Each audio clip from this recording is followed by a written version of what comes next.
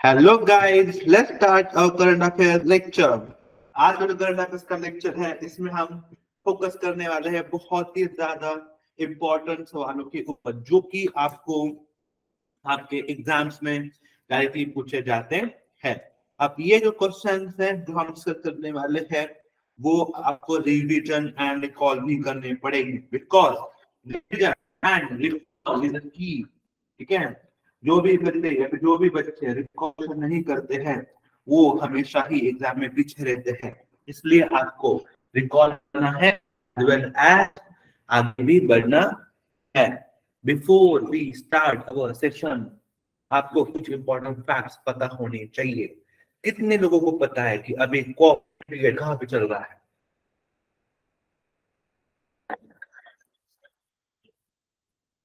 Yes yes. Is there anyone? उनको पता है? Do mention me in the comment section ये उसके बावजूद आपको क्या है आपको पता है कि एक पर्टिकुलर इनिशिएटिव है? है जिसे हम बोलते हैं डिजिटल इनिशिएटिव है। डिजिटल डिजिटल ऑन बोर्डिंग है digital on boarding platform name है इसका सारथी। क्या इसका नाम क्या है? सारथी, ठीक है? ये जो प्लेटफॉर्म है डिजिटल ऑनबोर्डिंग प्लेटफॉर्म सारथी, वो किसके द्वारा लॉन्च किया गया है? It has been launch by the bank of Axis Bank you remember Axis Bank द्वारा ये पर्टिकुलर इनिशिएटिव जो है, वो लॉन्च किया गया है। आगे बढ़ते हैं। अगला सवाल आपके लिए पेस्ट है। ठीक है? अगेन थोड़ा सोचो, दिमाग लगाओ एंड देन मांग। ठीक है? लाइफ को बनाओ रिच ये जो न्यू लोगो है दिस न्यू लोगो लाइफ को बनाओ रिच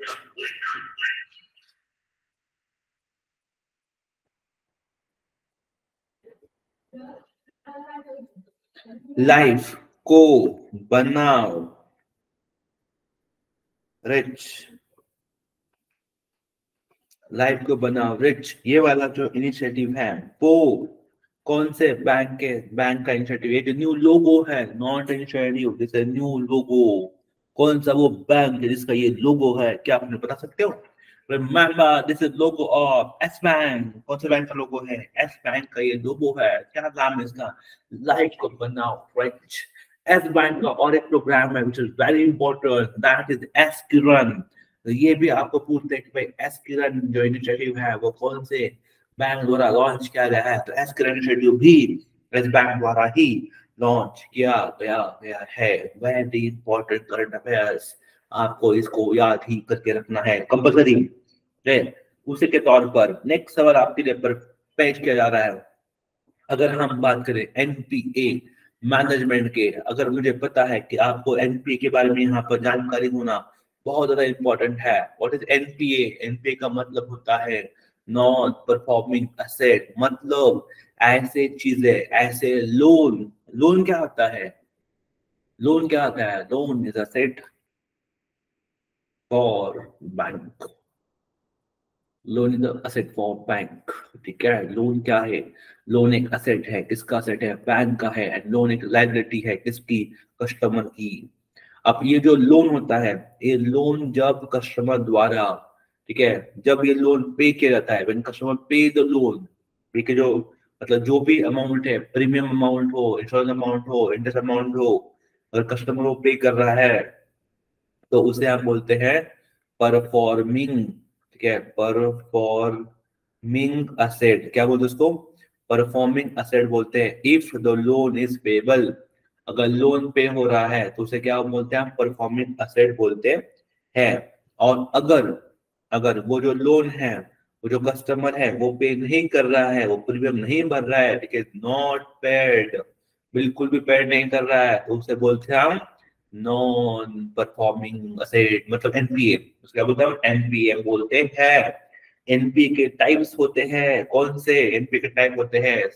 सब स्टैंडर्ड असेट पहला टाइप होता है सब स्टैंडर्ड असेट ठीक है? You have a doubtful asset yeah doubtful asset bhi hota hai and then you have a loss asset loss of ये सारे क्या है आपके एनपी के टाइप्स है? याद रखना इन सारी चीज़ों को। आपका जो स्टैटिक पार्ट है, उससे ये रिलेट करता है। नाउ इन करंट अफेयर्स में इसका क्या रिलेवेंस है फिर?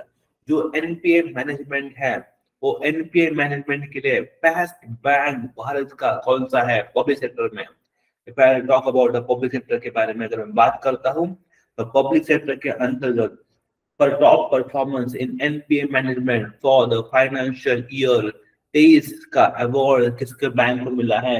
You guys will get shocked, but this award, I have very much confidence, आपको पता नहीं होगा, ये अवार्ड मिला है बैंक ऑफ़ महाराष्ट्र ठीक है? किसको ये अवार्ड मिला है? बैंक ऑफ़ महाराष्ट्र को जो है, ये पर्टिकुलर अवार्ड से सम्मानित किया जा रहा है फॉर द एनपीए मैनेजमेंट तो आपको इसको पता होना चाहिए। Bank of Maharashtra is rank one when come to NPA management in our country एक पब्लिक सेक्टर बैंक है, लेकिन बहुत ही ज़्यादा उम्दा परफॉर्मेंस कर रही है when come to NPA management ठीक है? इसके बाद एचडीएफसी है कोटक महिंद्रा है लेकिन ये public sector bank of Maharashtra one of the very good bank उनको एनपीए मैनेजमेंट का किताब मिला है।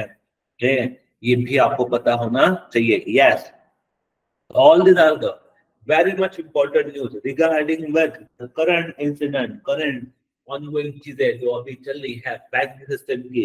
ये सबसे ज़्यादा इंपॉर्टेंट इंफॉर्मेशन थी। ये सारी चीज़ें हमने इससे पहले भी आपको इन डिटेल में सिखाई है। तो आपको इसको भी कुछ भी डाउट होगा तो आप जो प्रीवियस लेक्चर से हमारे, उसको एक बार देख सकते हो बिकॉज़ वहाँ पे मैंने यही जो सारी चीज़ें है, उसको डिटेल में समझाया है। ये याद करो करंट अफेयर्स की ये सारी चीज़ें। आगे बढ़ते हैं। अगला सवाल के लिए पेश है। पहला सवाल। सोचो and try to mark the answer take 5 second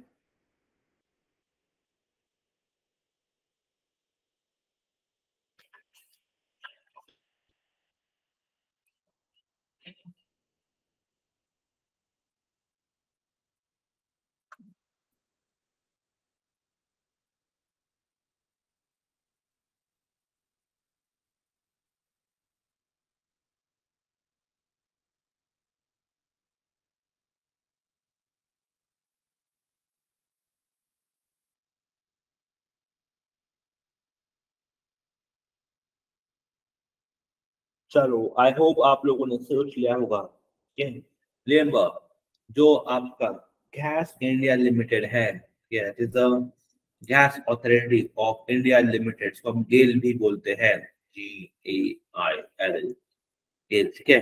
Gas authority of India GAIL इसके द्वारा ही gas limited GAIL limited has successfully executed world's first ship to ship liquefied natural gas transfer मतलब एक शिप है, ठीक है? एक शिप है तो उस शिप से दूसरे शिप में एल एन जी है, उसका transfer this has been successfully done से बोलते हैं वर्ल्ड फ़र्स्ट दुनिया का पहला ship to ship LNG transfer किसके द्वारा हुआ है? GAIL gas authority of India limited क्या आपको पता है गेल एक बहुत ही ज़्यादा इंपॉर्टेंट इनिशिएटिव है इंपॉर्टेंट लिमिटेड है।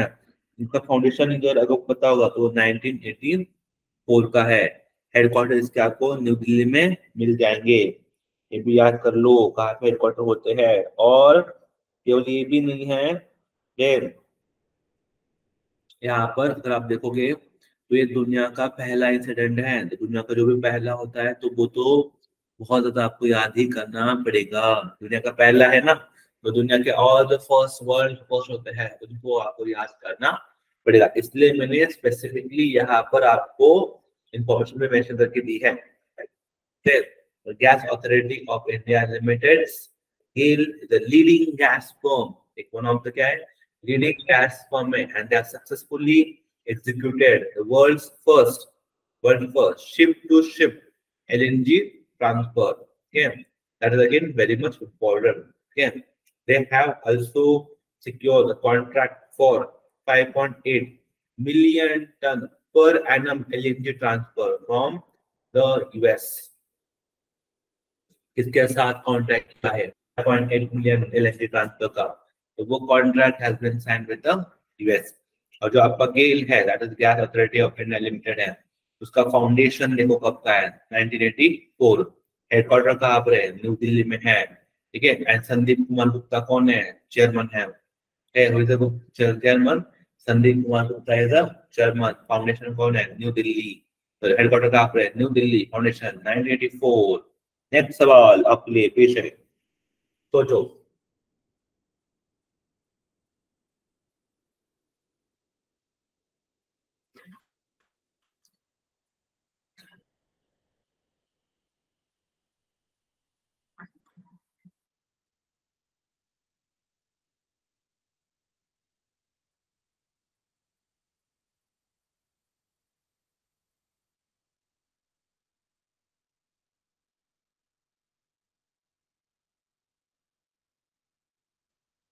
changed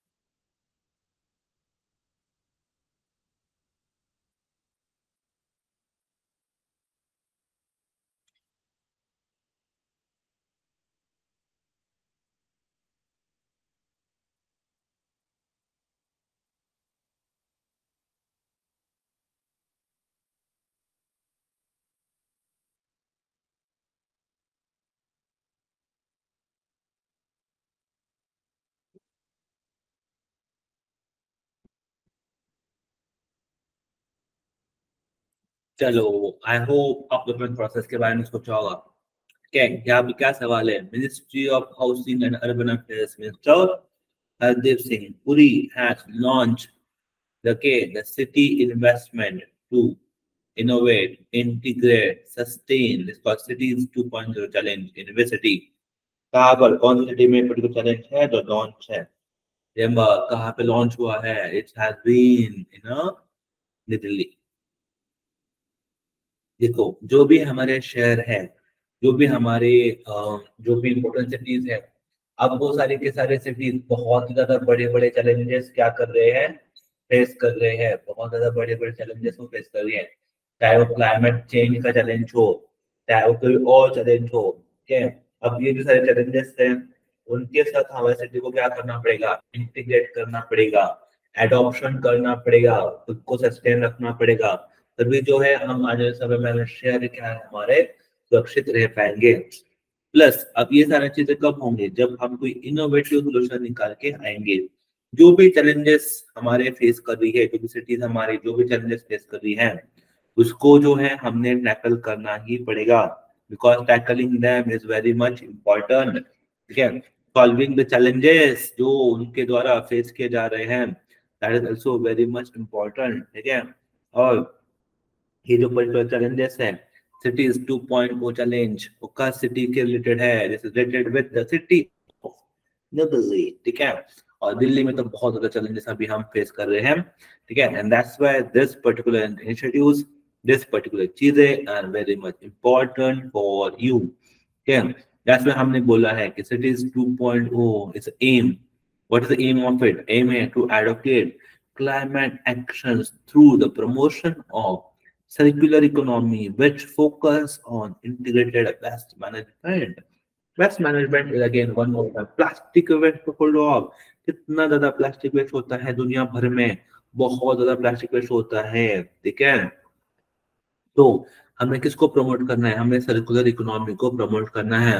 मतलब इसका ना एक इम्पोर्टेंट है। मतलब we need to be reduce पहली बात याद we need to be reduce then we need to be reuse reduce भी करना है। रिड्यूस कैसे करोगे आप? जब आप रीयूज करोगे, तभी तो क्या हो जाएगा? ठीक है रिड्यूस करेगा। है? चीज़ों को रिड्यूस भी करना है। रिड्यूस कैसे करना है आप? जब उसको रीयूज करोगे, तैसे ही हम करेंगे। ठीक है? रियूज करना है रिड्यूस करना है। ठीक है? इसको भी याद रखना। इसी को हम क्या बोलते हैं? सर्कुलर इकोनॉमी जिसके कारण जो चीज़ें हैं, उसको हम इस्तेमाल करेंगे। उनकी वैल्यू और क्या करेंगे? बढ़ाएँगे। हम्म?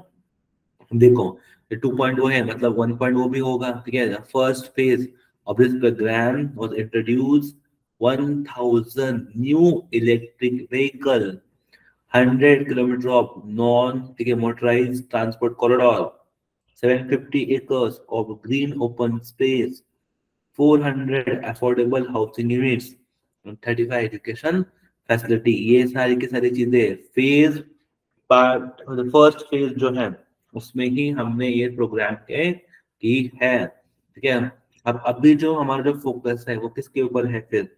हमारा बड़ा फोकस है कि जो कमर्शलाइजेशन ऑफ़ टेक्नोलॉजी है, उसके ऊपर। प्लस जो क्लाइमेट चेंज है, उसको टैकल करना है।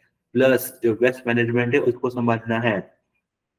और उसके लिए जो है, हमें इनोवेटिव एंड सस्टेनेबल सोल्यूशन निकाल के आने acting very important. And New Delhi is one of the very much important going to be play the very much important role in this particular incident ठीक है आई होप आपको ये बारे में पता होना चाहिए ठीक है आगे बढ़ते अगला सवाल पेश है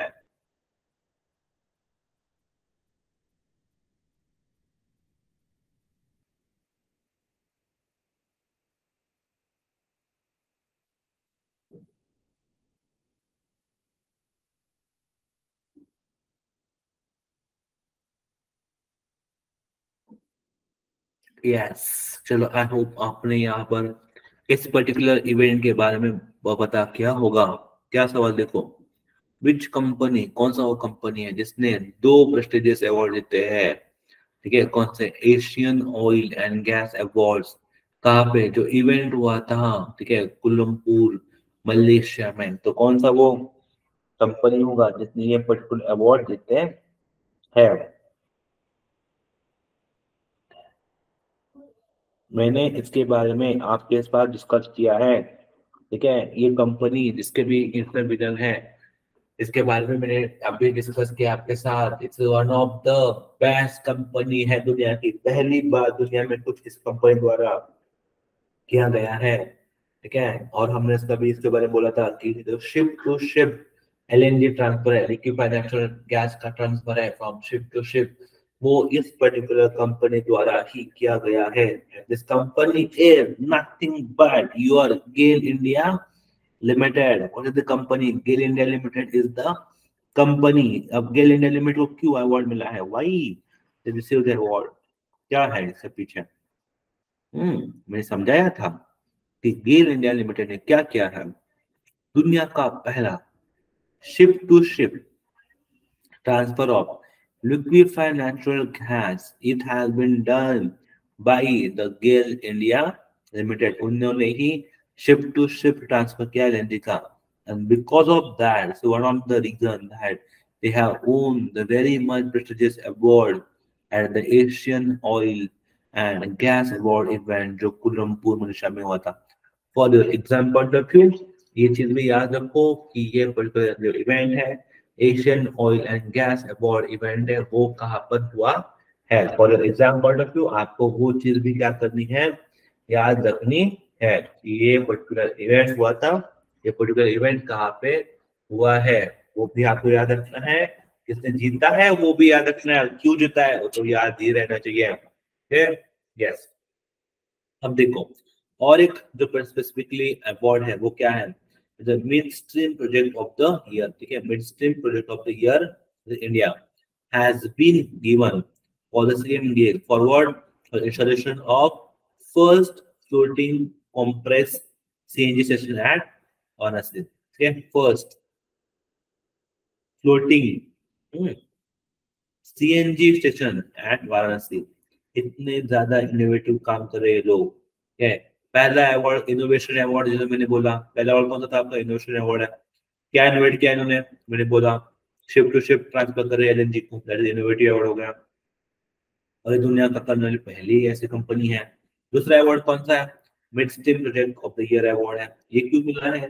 बिकॉज़ उन्होंने इंस्टॉल किया है फ़र्स्ट सीएनजी स्टेशन वो भी फ्लोटिंग वाला।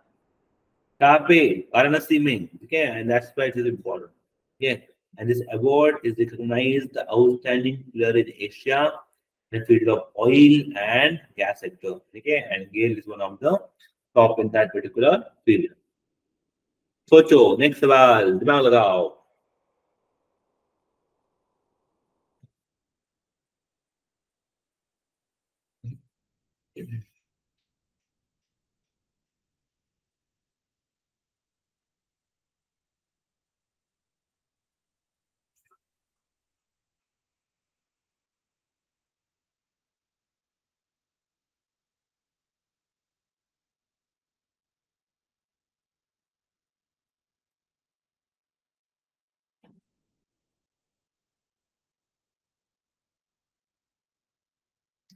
चलो आई होप आप लोगों ने इसके बारे में भी कुछ तो सोचा होगा। हम्म देखो, सवाल क्या बोल रहा है? एक कंपनी है, कौन सी तो एक कंपनी है, ठीक है? जिन्होंने क्या किया है? जिन्होंने एक एग्रीमेंट साइन किया है। कौन सा एग्रीमेंट है transfer of technology agreement sign किया। ओके एक कंपनी है जिसने ट्रांसफ़र ऑफ़ टेक्नोलॉजी का एग्रीमेंट साइन किया है। ओके किसके साथ हुआ एग्रीमेंट साइन किया उन्होंने? उन्होंने एग्रीमेंट साइन किया? C S I R National Aerospace Laboratories के साथ। ओके जो नेशनल एरोस्पेस लेबोरेटरी है उनके साथ एक कंपनी ने एक एग्रीमेंट साइन किया कौन सा एग्रीमेंट है वो? ट्रांसफ़र ऑफ़ टेक्नोलॉजी किसके बारे में टेक्नोलॉजी ट्रांसफ़र करनी है? टेक्नोलॉजी ट्रांसफ़र करनी है for the manufacturing of BMI engine production of light combat aircraft Tejas. जो हमारा तेजस है हम्म, और तेजस का जो लाइट कॉम्बैक्ट एयरक्राफ्ट का जो वेरिएंट है, उसके मैन्युफैक्चरिंग को लेके जो बीएमआई इंजन प्रोडक्शन है, उसका बीएमआई इंजन जो प्रोडक्शन है, उसका क्या करना है? ट्रांसफ़र ऑफ़ टेक्नोलॉजी करना है। ठीक है? और ये जो कॉन्टेक्ट कौन देगा? तेजस को मैन्युफैक्चर किसने किया है? My very simple question to you Tejas को मैन्युफैक्चर करने वाले कौन है? कौन है? एच कौन है एच तो एग्रीमेंट भी साइन किसने किया होगा? Agreement is also sign by the H A L Hindustan Aeronautics Limited has signed this particular ठीक है एग्रीमेंट अब इसके बारे में आपको पता होगा, ठीक है? तेजस के बारे में। ठीक है, तेजस लॉइड कॉम्पैक्ट व्हीकल है एयरक्राफ्ट कैरियर है एच एल ने इसको बनाया है। ये एयर टू एयर कर सकता है फाइट प्लस ये एयर टू ग्राउंड भी फाइट कर सकता है। Tejas fifty thousand feet high तक फ्लाई कर सकता है। तेजस पॉइंट सिक्स मैक इसका स्पीड है, इतनी ज़्यादा तेज से गुजरता है। तेजस की रेंज तीन हज़ार दो सौ है। ये भी आपको पता होगा, ठीक है? And again all this are very important even I can say it's a famous because हमारे जो ऑनरेबल पीएम है इन्होंने एज अ को पायलट एज अ को पायलट भी ट्रैवल किया था from the Tejas and that's why बहुत ज़्यादा न्यूज़ में भी आ गए थे तो तेजस का जो लाइट कॉम्बैट एयरक्राफ्ट कैरियर है, ठीक है लाइट कॉम्बैट एयरक्राफ्ट है तेजस, ठीक है दिस इज़ वेयर्स ठीक है ऑल राउंडर ये काम करता है, ठीक है, और इसको जो मैन्युफैक्चरिंग ऑब्वियसली हमें क्या करना पड़ेगा शिफ्ट करेगा कई चीज़ें जो एच नहीं कर सकता है मैन्युफैक्चरिंग जो शिफ्ट करनी पड़ेगी तो जो भी एग्रीमेंट है regarding the same that has been ठीक है? Yes so that's why your option number D is a very much right answer आगे बढ़ते हैं। अगला सवाल पेश है। सोचो एंड देन मांग आंसर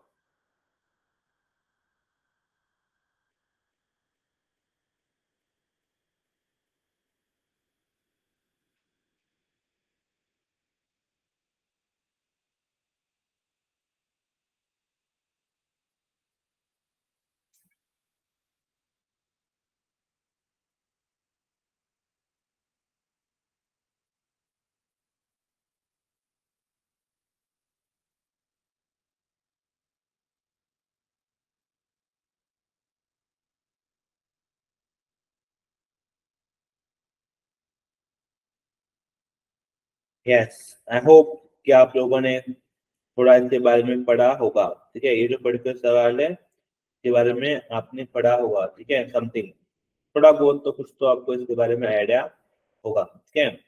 क्या सवाल? सवाल आपको क्या बोल रहा है? देखो, पहले सवाल को ना आराम से पढ़ना सीखो। सवाल आपको पूछ रहा है कि world athlete of the year award world athlete of the year award दो हज़ार तेईस। कौन से उसके जो लिस्ट होगी, ठीक है? वो has been selected which Indian has been shortlisted for this क्या लगता है आपको? किसके शॉर्टलिस्टेड किया गया होगा? किनको? अगेन एवरीवन जो भी यहाँ पे मेंशन है, Virat Kohli hundred of hundred ठीक है? एक दिन ये भी आएगा, जब मैं ये भी सिखाऊँगा कि हंड्रेड ऑफ़ हंड्रेड करने वाले, ठीक है? वो भी केवल ओडीआई में कौन है? विराट कोहली। ठीक है, ये भी सिखाऊँगा। ठीक है अभी ये नहीं है। अभी इन्होंने क्या किया है? ठीक है फिफ्टीज ऑफ़ हंड्रेड किए हैं इन्होंने।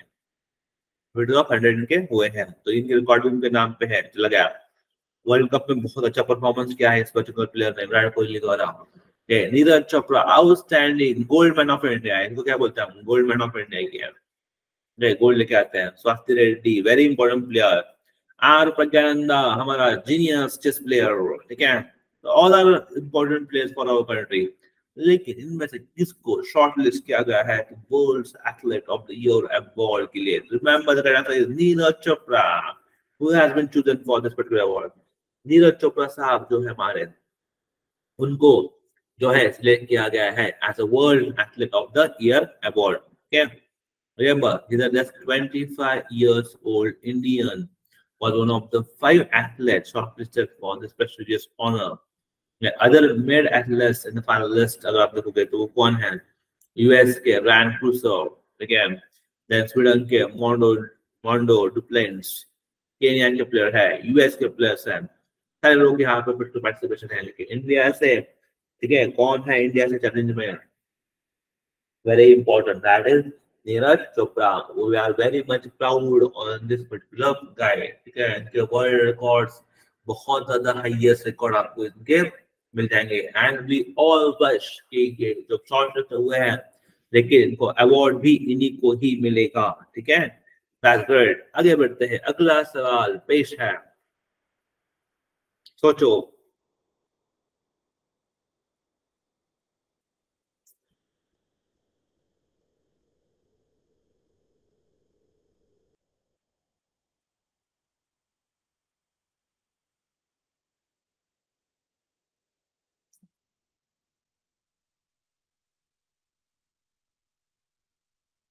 यस क्या सवाल है क्या बोला सवाल आपको which institution release towards implementing plastic pollution by 2040 a policy scenario analysis the policy scenario analysis है elimination of plastic okay ये पर्टिकुलर पॉलिसी एनालिसिस है वो किसके द्वारा बनाया गया है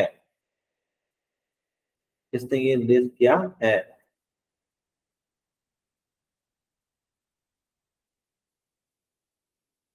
सोचना पड़ेगा, सोचो सोचो सोचो। क्या ये यूनाइटेड इन्वायरमेंट प्रोग्राम के अंतर्गत पॉलिसी बना रहे हैं? ठीक है, या नीति बना रहा है, या वर्ल्ड बैंक बना रहा है है? कौन होगा इसमें से? तो remember it's nothing but your OECD who is doing this? OECD is doing what is OECD then? OECD क्या है?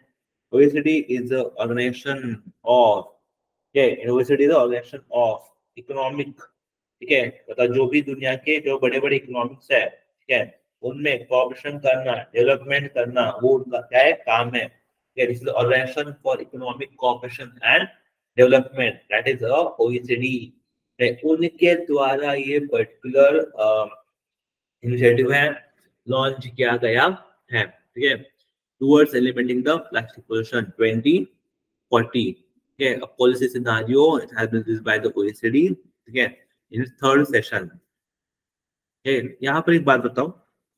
एक बताओ इंडिया ने ना प्लास्टिक यूज़ है। मतलब specifically I can say single use plastic ban किया हमने। ठीक है? इंडिया ने सिंगल यूज़ प्लास्टिक क्या? बैन है।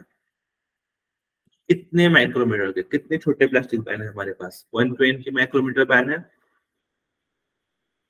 हंड्रेड एट्टी सेवेंटी फिफ्टी कितने? सोचो मुझे मार्क बताओ। India has ban the single use plastic हमारे यहाँ पे सिंगल यूज़ प्लास्टिक जो होते हैं, वो बैन है।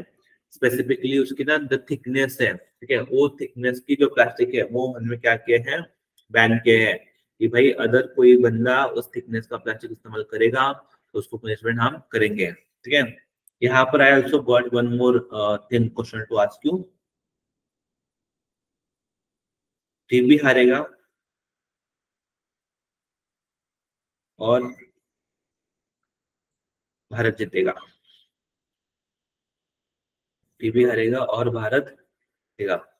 ये जो कैंपेन है टीबी हरेगा भारत जीतेगा कैंपेन ये कब मनाया जा रहा है? ये जो टीबी हरेगा, भारत जीतेगा। ये जो कैंपेन है, ये पर्टिकुलर कैंपेन आपको कब तक है? कौन सी ईयर तक हमने बोला है कि will eliminate TB in our country TB को पूरा एलिमिनेट कर देंगे हम अपने कंट्री में से। तो ये कब हो रहा है? टीबी एलिमिनेशन टारगेट इज़ 2024 आने वाला जो साल है। उसमें हमने डिसाइड किया है कि हम क्या करेंगे?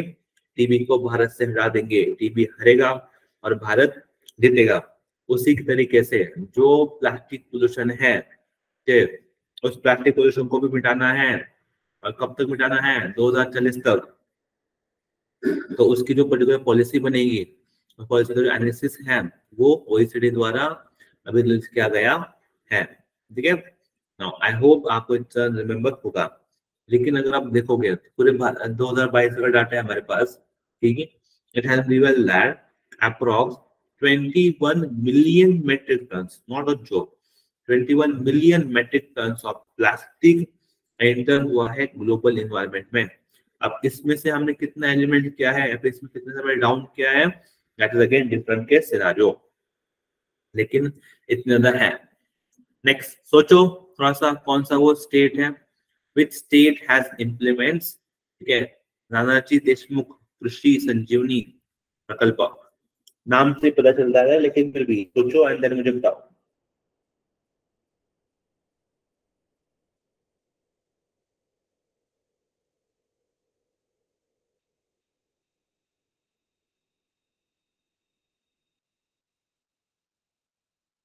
यस जो नाम है, नाम से सब कुछ क्लियर है, ठीक है? एवरीथिंग इज़ इन नेम नाम ही क्या देखो, नानाजी देशमुख कृषि संजीवनी प्रकल्प।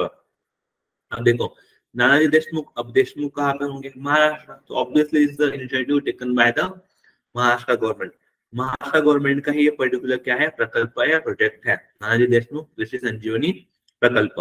अब यहाँ पे क्या ना, एक फोकस है। बात समझो आप। एग्रीकल्चर प्रैक्टिसेस जो अभी हम करते हैं or whatever the agriculture practices we are doing, we have to change these agriculture practices. हमारे एग्रीकल्चर प्रैक्टिसेस में बहुत ज़्यादा ट्रेडिशनल प्रैक्टिसेस है। क्या बहुत ज़्यादा ट्रेडिशन है।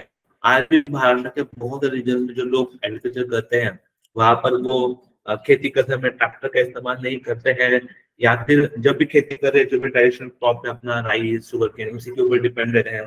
क्रॉप में भी वैरायटी नहीं है। लेकिन क्या है ना क्लाइमेटिक चेंज तो होने वाला है that is for sure climatic change अभी हो भी रहा है। तो जब क्लाइमेटिक चेंज होगा तो हमें जो हमारे क्रॉपिंग पैटर्न है, जो हमारे एग्रीकल्चर पैटर्न है, उसे भी तो बदलना पड़ेगा, ठीक है? जो एग्रीकल्चर पैटर्न है, उसे चेंज करना पड़ेगा। जो क्रॉप्स है, उसे मोस्ट इम्पोर्टेंट क्या होता है क्रॉप तो क्रॉप्स भी चेंज करना पड़ेगा। देखो millets is one of the very good crop I can say millets millets को ग्रो करना पड़ेगा। कि हमें मिलेट्स के मामले में तो बहुत ज़्यादा पीछे हैं हम, ठीक है? पूरे भारत में ही। तो एग्रीकल्चर प्रोडक्शन चेंज करना पड़ेगा एग्रीकल्चर प्रैक्टिसेस चेंज करने पड़ेंगे और वो प्रैक्टिस किसके हिसाब से होंगे? क्लाइमेटिक चेंज के हिसाब से होने चाहिए, ठीक है? एंड क्यों क्या होने वाला है? बिकॉज़ आने वाले समय में क्या होने वाला है? पूरी तरीके से इन्वायरमेंट चेंज होने वाला है। तो जो क्रॉप बनाएँगे, तभी तो प्रोडक्शन हमारा मेंटेन रह पाएगा। हम्म इसलिए हम बोल रहे हैं यहाँ पे इज़ नथिंग बट अ कृषि संजीवनी प्रकल्प, संजीवनी है।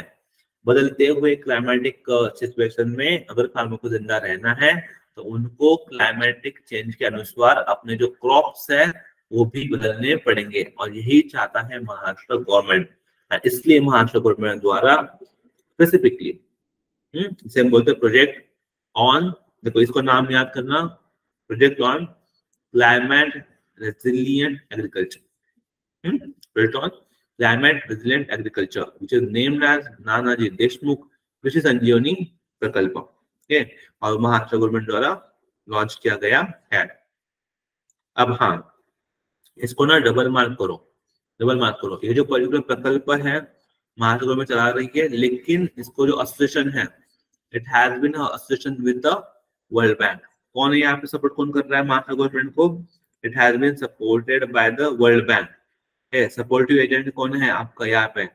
सपोर्टिव एजेंट है आपका वर्ल्ड बैंक वर्ल्ड बैंक क्या कर रहा है? इसको सपोर्ट कर रहा है for this particular project next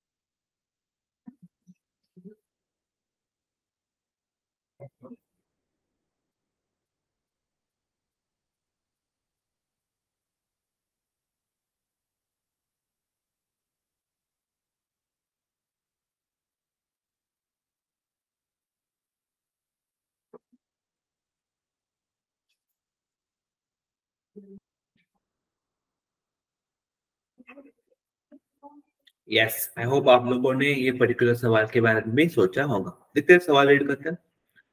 Bharat का वो कौन सा सिटी एयरपोर्ट है? सिटी एयरपोर्ट ठीक है? जिन्होंने अभी एक नया फीचर इंट्रोड्यूस किया है। उसका नाम है सनफ्लावर इनिशिएटिव सनफ्लावर इनिशिएटिव पहले तो यही लिखो। पहले सबसे पहले आपके नोट्स में ये लिखो sunflower initiative one of the important है। जो क्या इनिशिएटिव है? इसका मेन रीजन क्या है? वहाँ पे फोकस है जो भी हिडन डिसेबिलिटीज होती है पीपल्स विद हिडन डिसेबिलिटी उनके लिए ये पर्टिकुलर फैसिलिटी क्या की है? लॉन्च की गई है। तो ये लॉन्च करने वाली कौन सी वो एयरपोर्ट ने लॉन्च किया remember it has been launch by the New Delhi ठीक है न्यू दिल्ली का जो सिटी एयरपोर्ट है, उन्होंने अभी इंट्रोड्यूस किया है this particular special service that is sunflower initiative और एग्ज़ाम पॉइंट ऑफ़ व्यू क्या याद रखना है आपको? कि भाई जो दिल्ली एयरपोर्ट है, दिल्ली एयरपोर्ट है हमारा बिफोर दिल्ली, उनके द्वारा एक स्पेशल सर्विस इनहांस की है। किसके लिए?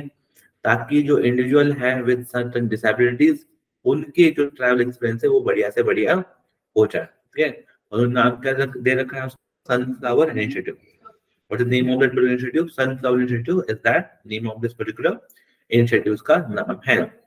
okay now अब ये जो क्या है ना, यहाँ पे क्या करेंगे, ठीक है? यहाँ पर जो भी पैसेंजर है असिस्टेंट फॉर्मर एयरपोर्ट स्टाफ जो भी एयरपोर्ट स्टाफ होगा, वो क्या करेगा? असिस्टेंस प्रोवाइड करेगा टू दिस पर्टिकुलर पैसेंजर्स ठीक है?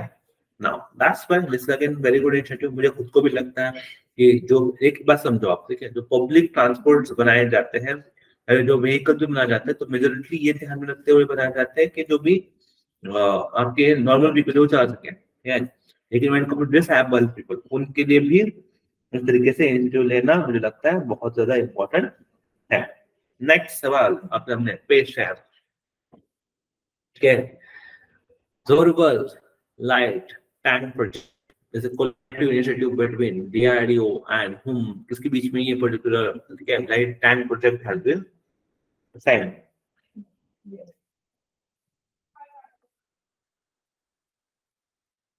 Okay, थोड़ा सोचो इसके बारे में ठीक है? जोरावर लाइट टैंक प्रोजेक्ट ठीक है? जोरावर लाइट टैंक प्रोजेक्ट ठीक है? ये क्या है? एक कोलैबोरेटिव इनिशिएटिव है बिटवीन डीआरडीओ एंड देखो टैंक प्रोजेक्ट है दिस इज़ टैंक प्रोजेक्ट थोड़ा सोचो ना टैंक प्रोजेक्ट है। टैंक प्रोजेक्ट इस वक्त नहीं होगा इतना तो दिमाग लगा ही सकते हो टैंक प्रोजेक्ट तो इस वक्त नहीं होगा। एचएल भी काम नहीं करेगा ना एचएल एयरक्राफ्ट बनाता है तो वो भी नहीं होगा ठीक है?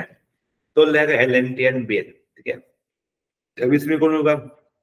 जैसे most probably your answer will be L N T और जो करेगा आंसर एल एन टी जो करेगा आंसर थोड़ा दिमाग लगाना है हर एक का ना अपना अपना काम है, ठीक है? डीआरडीओ को भी अपना अपना काम है वैसे इसरो का भी अपना काम है, ठीक है? ये जो लाइट टैंक प्रोजेक्ट है ये this light tank project is between DRDO and LNT जो डीआरडीओ एंड एलएनटी है, उनके बीच में ये पर्टिकुलर क्या है? आपका टैंक प्रोजेक्ट साइन है। आई होप आपने यहाँ पे स्पेसिफिकली मैंने मेंशन भी आपके लिए करके रखा है। This is a joint venture between DRDO and LNT जो डीआरडीओ एंड एलएनटी है, उनके बीच में पर्टिकुलर इनिशिएटिव क्या है आपका? साइन हुआ है, ठीक है? ना दैट्स ग्रेट आई होप आपको इसके बारे में पता होना चाहिए मैंने, मुझे लगता था पर्सनली कि you need to be aware and इसके लिए मैंने ये सवाल को ऐड करके रखा था। आगे बढ़ते हैं। Who has been appointed as advisor for India US Strategic Partnership Forum board. जो इंडिया यूएस का जो स्ट्रैटेजिक पार्टनरशिप फोरम है है तो स्ट्रैटेजिक पार्टनरशिप फोरम में किस, कौन बना है? Adviser before I move head you need to be remember remember कि यूएस अभी बहुत ज़्यादा न्यूज़ में है, बहुत ज़्यादा न्यूज़ में है। बिकॉज़ ना मैं यहाँ पर क्या हो रहा है ना यूएस में खालिस्तानी एलिमेंट कुछ खालिस्तानी लोग हैं। के खालिस्तानी एलिमेंट है, जो भारत, हमारे प्यारे भारत को तोड़ना चाहते हैं, ठीक है? अब उन खालिस्तानी एलिमेंट जो पहले ना अलग अलग देशों में एक्टिव थे, लेकिन अभी जो है वो यूएस में बहुत ज़्यादा एक्टिव कर एक्टिविज्म कर रहे हैं, भारत के खिलाफ बोल रहे हैं खालिस्तानी एलिमेंट्स ठीक है?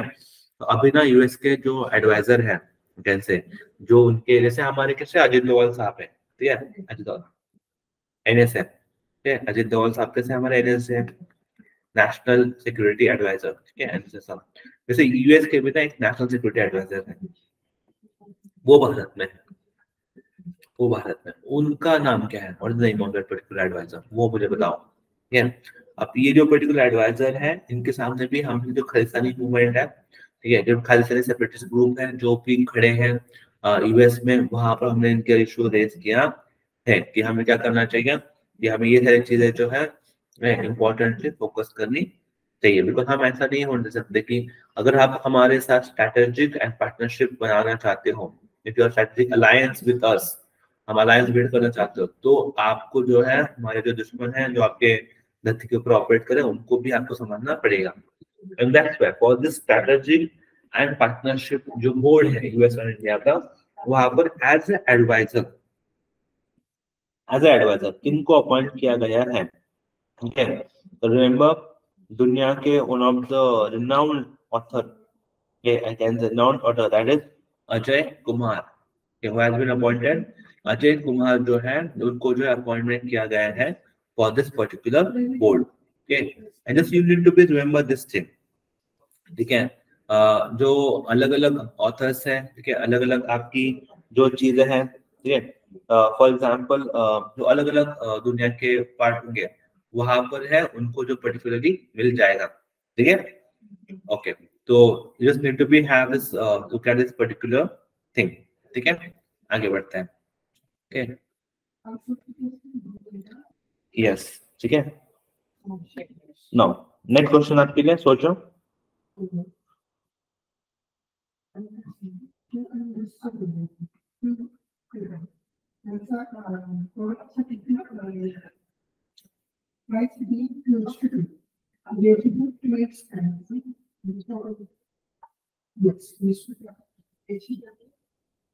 Yes. यस आई आप लोगों ने ये सवाल है आपके सामने। ठीक है, इसके बारे में आपने सोचा होगा। ठीक है, ये पर्टिकुलर सवाल है। ठीक है, इसके बारे में थोड़ा सा सोच लो। ठीक है, बहुत ही सही सवाल है। Which country has a sign ठीक है which country has a sign which country has sign a contract to supply ठीक है? Igla S hand held anti aircraft missile system to India नाम देखो ना क्या है इसका नाम देख के क्या मुझे बता सकते हो आप कि कौन सा वो पर्टिकुलर देश होगा जिसने ये बोल के रखा होगा, ठीक है? ठीक है, उन्होंने ये बोल के रखा होगा कि ये पर्टिकुलर लॉन्च किया गया है। ठीक है, नाम देखो and then let me know what is your opinion कौन होगा?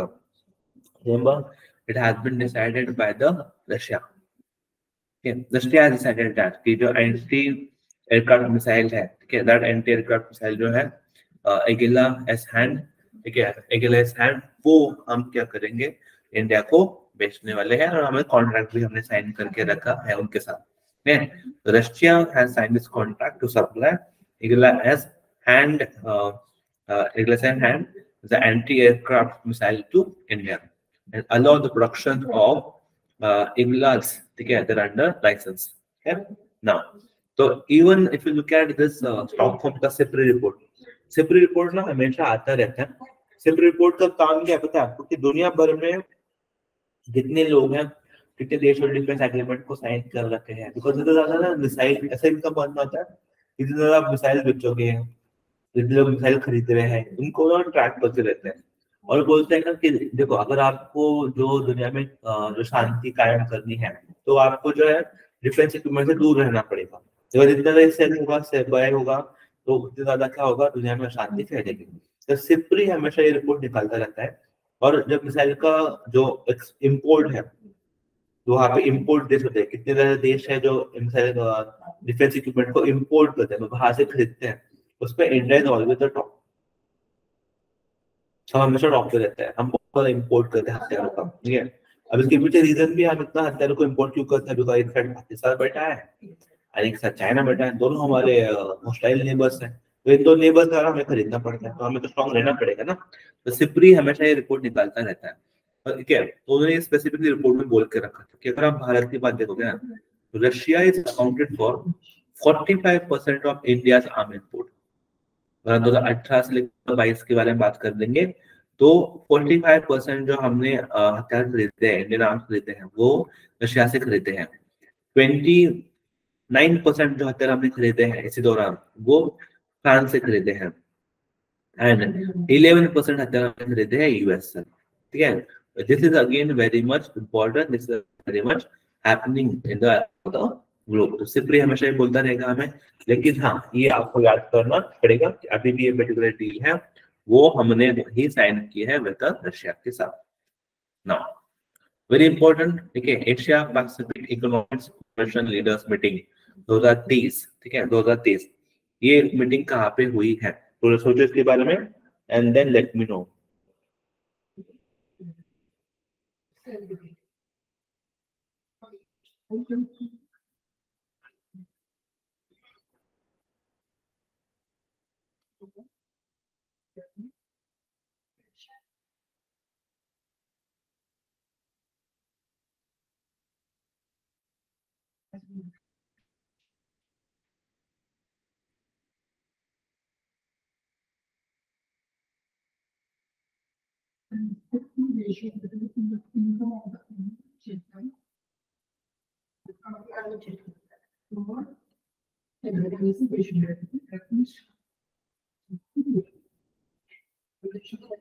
yes I hope आप लोगों ने ये पर्टिकुलर चीज़ है। या इसको भी आपने अच्छे से पढ़ा होगा। अगेन बहुत ही ज़्यादा इम्पोर्टेंट मीटिंग था, इस meeting Asia Pacific economic cooperation का मीटिंग है। याद रखना, ये तो एशिया पैसिफिक के बारे में हम बोलते हैं कोऑपरेशन है। इसको इंडिया इज़ नॉट द इसको ना आप हमेशा याद करके रखना। बहुत बार लोगों को ऐसा लगता है, भाई हाँ एशिया पैसिफिक एशिया पैसिफिक हम बोल रहे हैं तो इंडिया इसमें होगा। ऐसा नहीं है। Though it is Asia Pacific committee economic cooperation का हिस्सा। मीटिंग कहाँ पे हुआ है? This meeting held at US ये भी याद कर लो। ये जो पर्टिकुलर मीटिंग इसके हम बारे में बातचीत कर रहे हैं। एशिया पैसिफिक इकोनॉमिक कोऑपरेशन का मीटिंग ये कहाँ पे हुआ आपका? यूएस में जो पर्टिकुलर ये इंसिडेंट हुआ है यूएस में हो रहा है। लेकिन जो फोरम है एशिया पैसिफिक का ये जो फोरम है आपका, इस एशिया पैसिफिक के जो फोरम में भारत जो है हमारा वो नहीं नॉट वहाँ पे कंट्री नहीं है। ठीक है? याद रखिएगा हाँ और ये सबसे ज़्यादा अच्छा इवेंट था जहाँ पर जो Biden and Chinese leader Xi Jinping first time मिल रहे थे। Meeting discuss the US China relationship कुछ नहीं हुआ है, इस मीटिंग में भी। मीटिंग का आउटपुट वही है कि बाइडन ने बोल दिया था कि after meeting just Biden has said that कि Chinese leader is a dictator ठीक है? तो उससे पता चल जाता है कि there no understanding between this two major economics mount Etna जो न्यूज़ में है, वो बस देश में मिलता है माउंट इना अच्छा बहुत फ़ेमस है। अभी बोल सकते हो न्यू आइलैंड बना है। New island has been created इसलिए आइलैंड क्रिएट है due to volcanic eruption okay volcanic eruption हुआ है। नया आइलैंड बना है। तो दिस वोल्केनिक इरप्शन और जो उसका नया है किस देश के पास बना है? इस है। इसका जापान कहाँ पे बनाए सेंटर ऑफ़ जापान के यहाँ पे बनाए। इसको भी याद कर लेना। इसका नाम नहीं हुआ है। तो मैं नाम बोल दूँगा। अभी तो मेरे पास ये नाम नहीं आया है है। है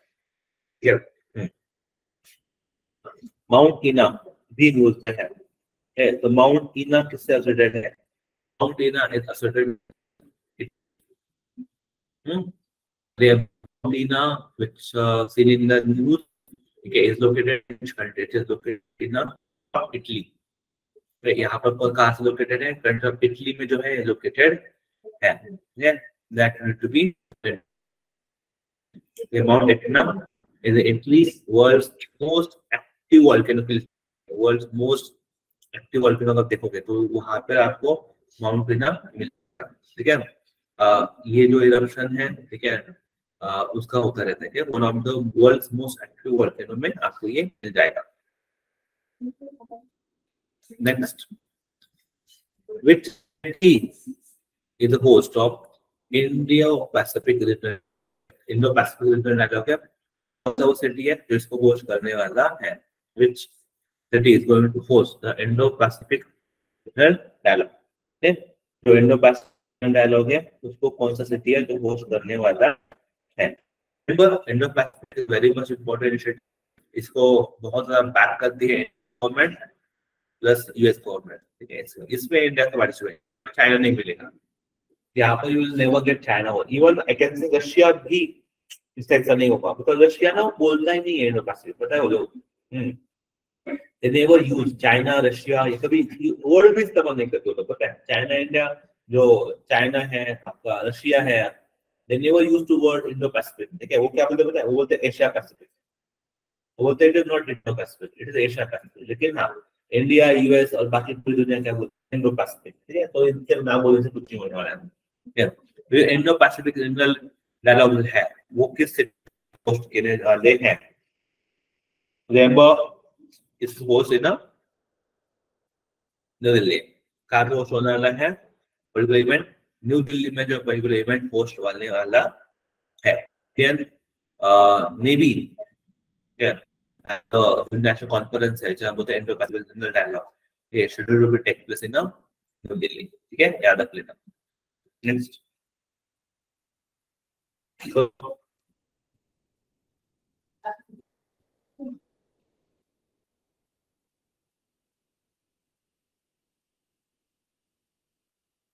yes, ये पर्टिकुलर भी इनिशिएटिव ना जब आप पढ़ते हो शक्ति पॉलिसी यहाँ पर क्या लिखा है? शक्ति पॉलिसी बहुत लोग कैसे लगता है शक्ति हाँ जो ताकत के बारे में बात कर रहे हो ये लोग। लेकिन ये नॉट अ डिफेंस नहीं है।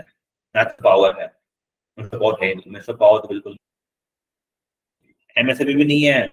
कौन है? मिनिस्टर ऑफ़ कोल हम शक्ति पॉलिसी के बारे में बात कर रहे हैं इस बारे में बातचीत कर रहे हैं हम। मिनिस्टर ऑफ़ कोल के बारे में जो हम बात कर रहे हैं, ठीक है? तो minister of coal announce the Shakti policy अभी शक्ति का फुल क्या है? स्कीम फॉर एंड कोल बोलते हैं। जैसे कोल ठीक है? This is very much initiative come coal sector in इसको बस याद कर लेना ठीक है? पर ना जो परचेसेस एग्रीमेंट है ठीक है? That has been minimum three months up to maximum one year. Next, which institution released World Energy Employment 2023 report? 2023 का जो वर्ल्ड एनर्जी एनर्जी वर्ड यहाँ पे एनर्जी एम्प्लॉयमेंट रिपोर्ट दो हज़ार किसके द्वारा लॉन्च किया गया होगा?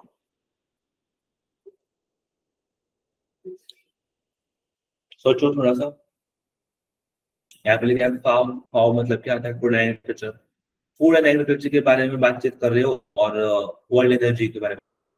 Not link not link world economic affairs के बारे में बातचीत कर रहे हो इकोनॉमिक कंफ्यूज हो सकते हैं। इन्वायरमेंटल प्रोग्राम इन्वायरमेंट प्रोग्राम है तो फिर स्पेसिफिक एनर्जी के ऊपर का नाम कुछ अलग रखेंगे। Economics forum and IA that is what is IA IA is international energy agency आईए क्या है? आईए इज़ इंटरनेशनल एजेंसी है आईईए ठीक है जो रिपोर्ट है? देखिए वर्ल्ड एनर्जी एम्प्लॉयमेंट रिपोर्ट 2030 इस has been released by the IE किया है याद रखना इंटरनेशनल एनर्जी एजेंसी का पर्टिकुलर और उनके दैट इज़ 1974 में हुआ था. और पेरिस फ्रांस के हेडक्वार्टर मिल जाएँगे. तो उन्होंने ये बोला as per this report 70 35 million jobs worldwide के वर्ल्ड वाइड बनाए रिलीज किए जाएंगे clean energy has exceeded the number of jobs available in a additional fossil fuel sector okay for the first time in 19 2020 okay now next okay दिल्लो festival थोड़ा सोचो दिल्लो festival नाम से जो पता करो नाम से अगर आप नाम देखोगे तो नाम से थोड़ा सा गेस कर पाओगे दिल्लो फेस्टिवल रेमत कहाँ का फेस्टिवल है? एक तो पर्टिकुलर सेलिब्रेट किया जाता है, गोवा में। ये फेस्टिवल कहाँ पे सेलिब्रेट किया जाएगा आपका? गोवा में जो है फेस्टिवल आपको सेलिब्रेट किया जाएगा, ठीक है? दिल्लो दिल्लो को फेमिनिस्ट फेस्टिवल है, जो कि वेस्टर्न घाट ऑफ़ गोवा में क्या किया जाता है किया जाता है, ठीक है? ना इसको बस लेना ठीक है? This village are the home of ठीक है? Kunbi community members, ancestors, and migrated to Joida during the Portuguese era. ठीक है? So that's why the Goa में एक पर्टिकुलर जो आपका फेस्टिवल है फेमिनिस्ट फेस्टिवल है ठीक है? उसको मनाया जाता है उसका है दिल ठीक है? ग्रेट आगे बढ़ते हैं। नेक्स्ट सवाल। LUPEX is a joint effort ISRO and किसके बीच में है? सोचो। लुपिक्स ठीक है? लुपिक्स लूनर पोलर एक्साइड ये भी याद कर लो ना। लुपिक्स का क्या है आपका? लुपिक्स इज़ नथिंग बट आपका lunar polar exploration mission LUPEX क्या है आपका? लूनर ठीक है? Polar lunar polar exploration mission this is a mission between is a mission on moon moon होता है।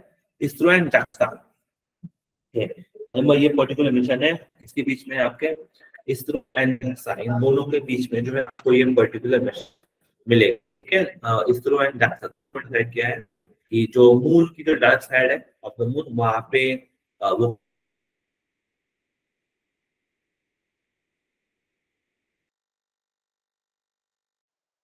शेड्यूल ट्वेंटी ट्वेंटी फाइव में मिशन के आपका शेड्यूल है।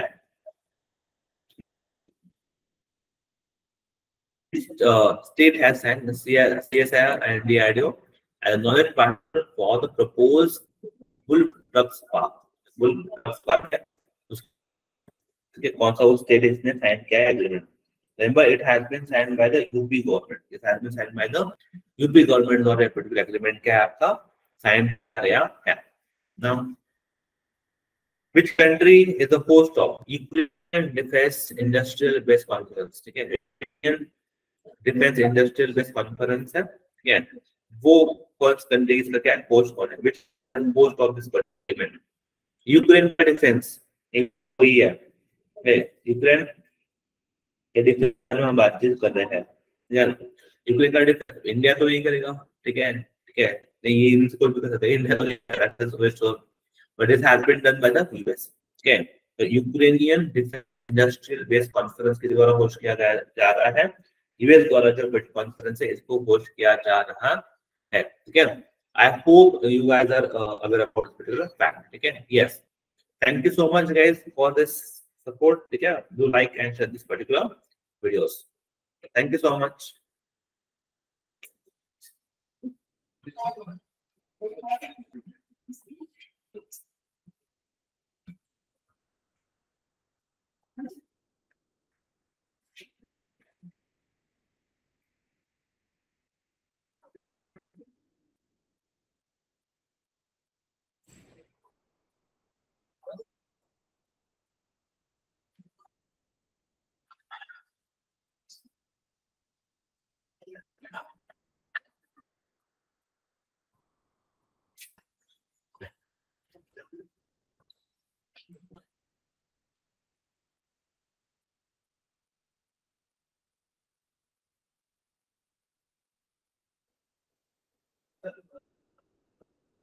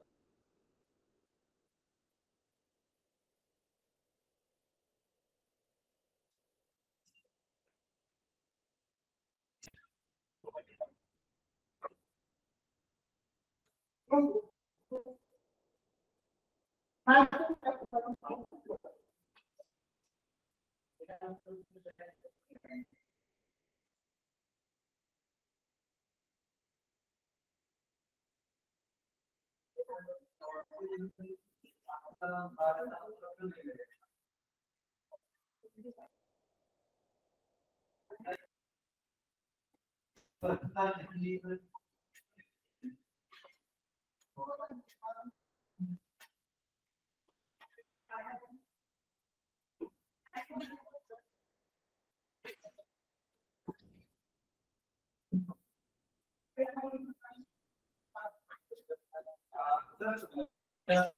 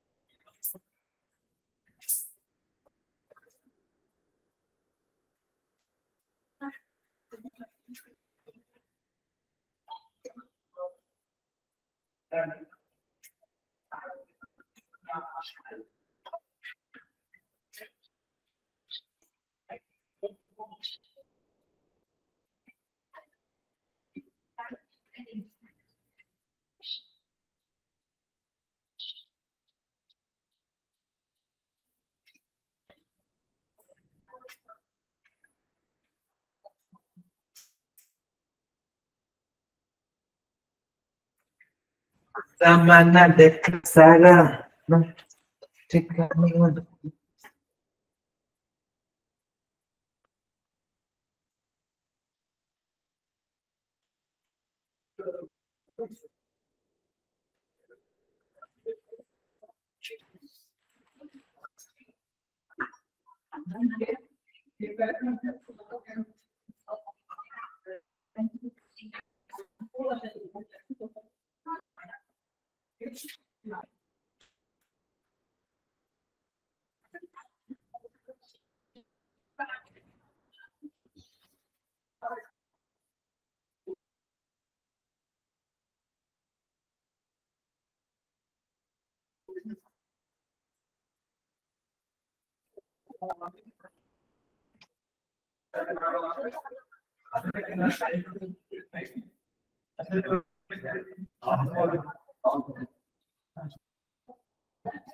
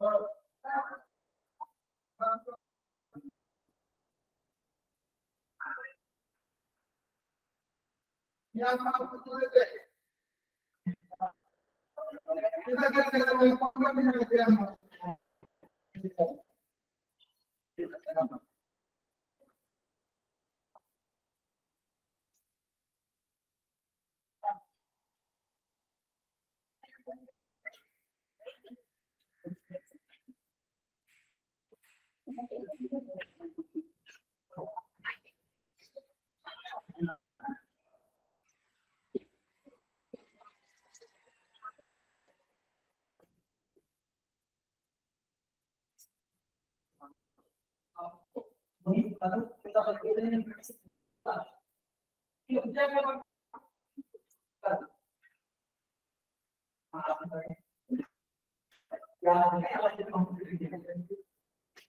Gracias.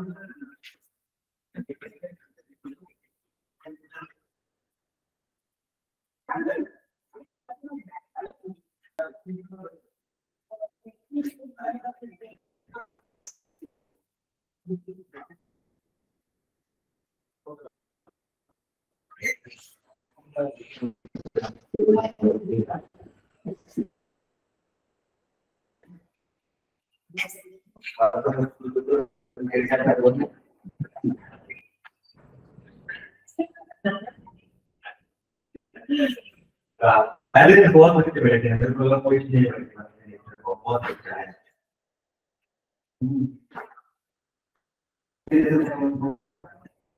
उनको बोलता है जो सीखना है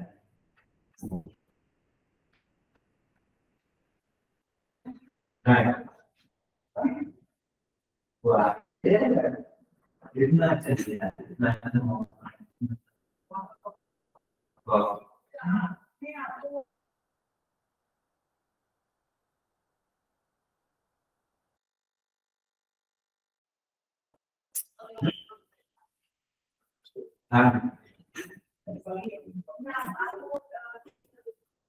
अरे मेरे ऊपर कौन है। बस देखिए वाह ये ना दोनों आदि करता एक करता है तो लोग बोलो तो से बोलते हैं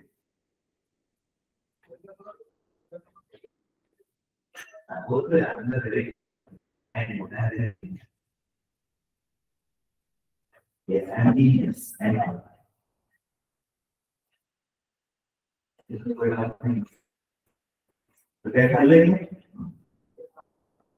लेंगे शरीर में हल्के से पढ़ेंगे मनोरंजन करो